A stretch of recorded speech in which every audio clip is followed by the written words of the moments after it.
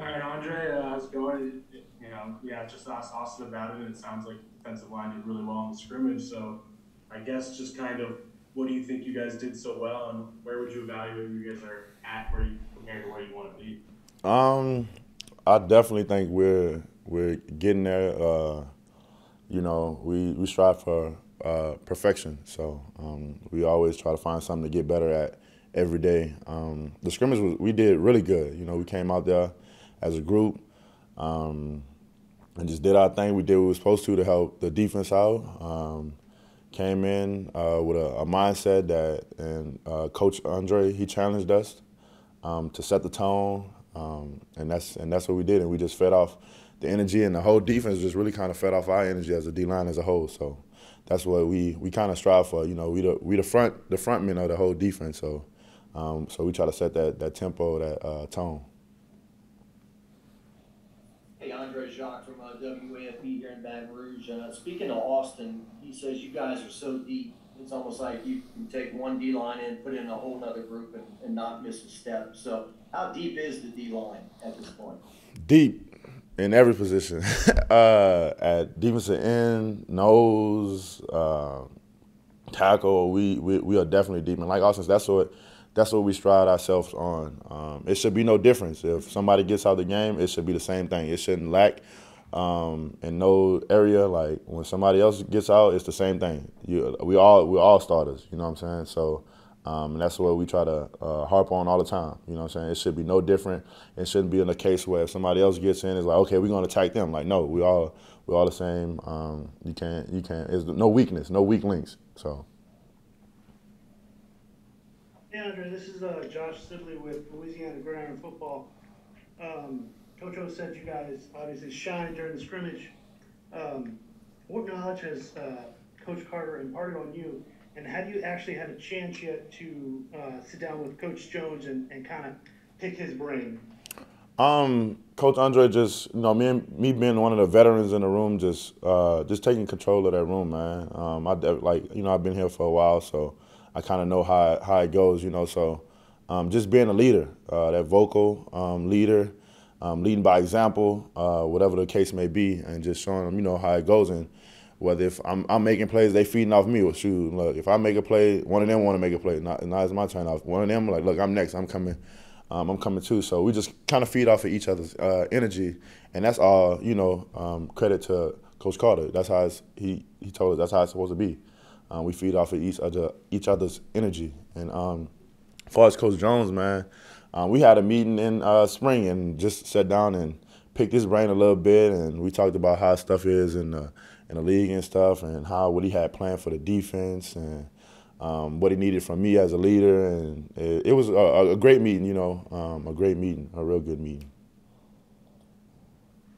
Andre, this is uh, Glenn West with LSU Country. Um, I wanted to ask you about a couple of freshmen who maybe have flown a little bit under the radar. Um, Sai'vion Jones and Bryce Langston. Just what have you seen from those two guys as they've gotten to campus? And, and obviously they could maybe get buried a little bit under the deep depth chart, but their future outlook with this program. Oh, they definitely have a um, future. Uh, both of them uh, came in, uh, picked up quick. Um, they definitely picked up quick for us, like the defenses.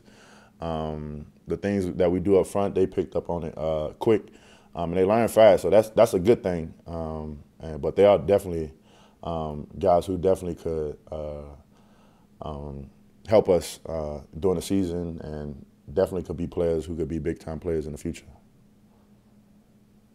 Hey, Andre Wilson Alexander from The Advocate. Sort of following up what we were talking about earlier with the depth along the defensive line. Y'all seem to have so much confidence in your whole group there. Is it come from the depth at that, those positions, or is there something else where that confidence originates from? Um, it's just that bond. That's that's that's really the confidence in it. It's, it's that bond that we have uh, with each other. Um, just being able to trust each other. Um, that's really the, the main thing. And you know, out, throughout the week, it was just like we we stayed on each other, man. And Saturday, it just all came together. Saturday, just we like okay we definitely we got something going for our, for the defensive line. Like it's it's definitely something there. The way we played, um, we fed off the energy we brought. Um, it's like it, it's definitely something there.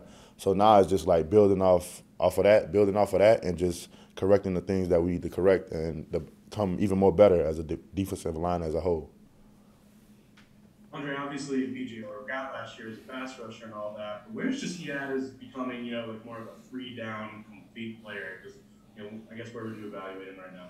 I mean, BJ is, is good. Like I said, we we all pride on self pride ourselves on you know not really so much having a, a weak link. We all can play you know all all the downs. You know, um, of course there's there's people who you know um, who have things they got to work on, just like I have stuff that, that I need to work on. But um, I think he's he's going to be a great player um, for us this year and next year. You know, however long he's here, he's definitely going to be. Um, well as you know, guys like the young guys like Maason, um, um, J. Roy, they're all guys you know who can definitely contribute uh, with us. Hey Andre, this is Garland at uh, Fox 8 in New Orleans. You just mentioned Maason's name.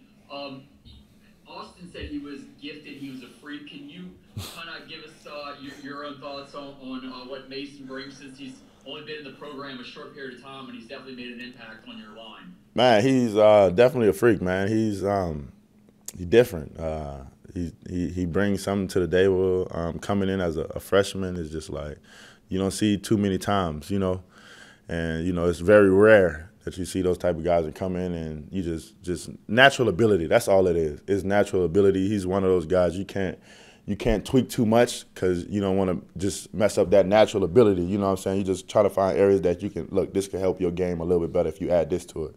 But um, he's definitely one of those guys, man. Great player, a great person. Um, he listens, takes coaching well. He wants to get better. You know, he wants to get better. So that's a another good thing about him. Great character dude. Um, that's a bright future for him. Alexander from the Advocate Uh, you at the inside linebacker spot, Coach O said that they were going to try to kind of play all four guys, and there would be a lot of rotation. How do those sort of four, Buck Strong, Jared Small, Damone Clark, and Micah kind of complement each other? And how's it going? Just you know, having all that rotation at that spot right now. Man, they they all ballers. Um, they're all ballers. Um, same same thing with the like we said with the defensive line. You don't want it to be no weakness when somebody gets out. It's the same thing, and that's the same thing with them. Whether who's in, they're rotating or whatever the case may be. Um, it's just the same, and uh, they're a great group, um, a very large group. Uh, it's a lot of them, but um, they're definitely uh, some guys who are going to be great for us and could help us out a lot. So. Um,